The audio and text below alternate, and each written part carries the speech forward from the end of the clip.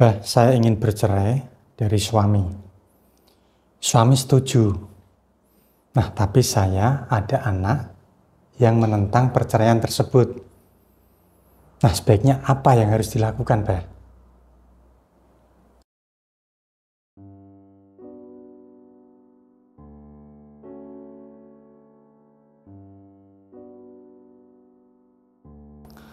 Assalamualaikum warahmatullahi wabarakatuh. Saudaraku yang dirahmati Allah Subhanahu wa taala. Salam bahagia dan semoganya kebaikan yang selalu menyertai kita semua. Amin amin ya rabbal alamin.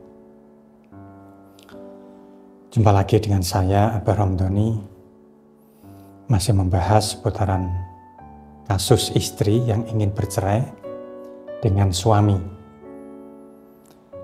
Nah, kali ini yang akan saya bahas adalah hambatannya itu bukan dari pihak suami, nah tapi kepada anak. Ya, ada anak yang tidak menghendaki Anda dengan suami ini bercerai. Nah, untuk kasus ini itu cukup jarang, tapi satu atau dua kali itu pernah ya, saya terima Lalu bagaimana dan apa yang harus dilakukan, Bah? Apakah Abah ini bisa membantu untuk masalah tersebut? Ya, insya Allah ya, bisa. Tapi harus dilihat-lihat dulu ya, kasusnya seperti apa. Apakah perceraian itu memang jalan yang terbaik untuk Anda dan suami atau tidak? Nah, jika tidak dan ada peluang untuk rujuk, justru saya mungkin itu ada pihak di pihak anak Anda yang menentang perceraian Anda ini.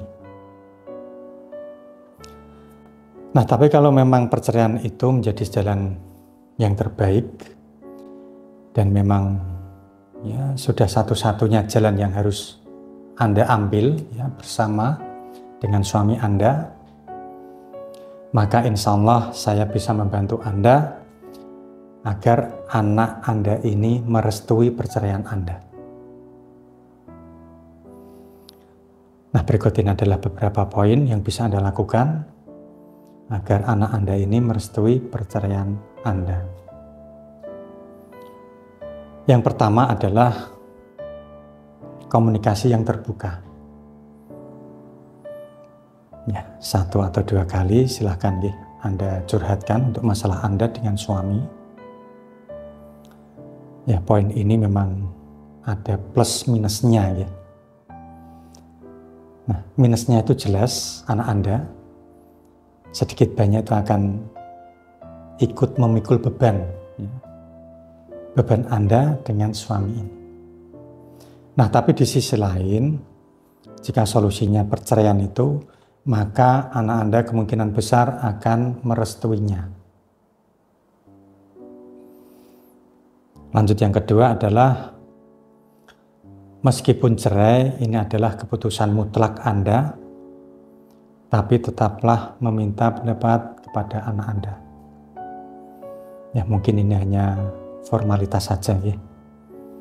Tapi dengan begitu anak Anda itu akan merasa dihargai keberadaannya dan hal ini akan memperbesar peluang restu ya perceraian Anda dengan suami. Lalu yang ketiga, jangan pernah menghalangi atau jangan membatasi hubungan anak Anda dengan suami. Ya karena kebanyakan ya dari pihak istri atau dari ibu ini menghalangi anaknya untuk bertemu dengan suami atau ayah dari anak Anda. Nah, kalau sudah seperti itu ya, tentu sudah pasti akan sulit ya untuk merestui perpisahan ya, Anda dengan suami ini. Lanjut yang keempat, beri layanan konseling kepada anak Anda. Ajak ke konsultan ya, konsultan anak atau konsultan kejiwaan ya, jika memungkinkan karena hal ini untuk meminimalisir ya, beban mental anak Anda. Ya, anda juga harus memperhatikan ya, kesehatan mental anak anak Anda juga. Ya, karena jika tidak dan mental anak Anda ini sakit, akibatnya ya, nanti bisa fatal. Saya contohkan ya, seperti anak ini terlibat tindakan kriminal, lalu pergaulan bebas, dan yang paling fatal ini adalah dengan mengakhiri hidupnya. Nah, jadi pastikan Anda dan suami ini juga memperhatikan masalah anak. Nah, kemudian yang kelima, jika seluruh ini sudah Anda lakukan, silahkan maksimalkan ya, dengan melakukan usaha batin. Nah, untuk yang saya sarankan Anda ya, ini Anda bisa menggunakan sarana pelet atau sarana peluluh ya, untuk menundukkan atau meluluhkan anak Anda supaya apa? Agar merestui perceraian Anda ini. Nah, kalau untuk poin ini, jika bisa melakukan dengan maksimal, insya Allah ini bisa melancarkan proses perceraian Anda dan anak ini juga bisa menerima ya, dengan lapang dada. Nah untuk sarana peluluh ini banyak pilihannya ya. Yang paling banyak diminati untuk kasus ini ya mustika peluluh sukma. Nah untuk bahannya sendiri mulai Rp1.920.000. Nah untuk memperolehnya Anda bisa menghubungi staf saya di nomor 0811 3990 3990. Monggo. Nah, lima poin ini bisa Anda lakukan ya untuk mendapatkan restu perceraian dari anak Anda.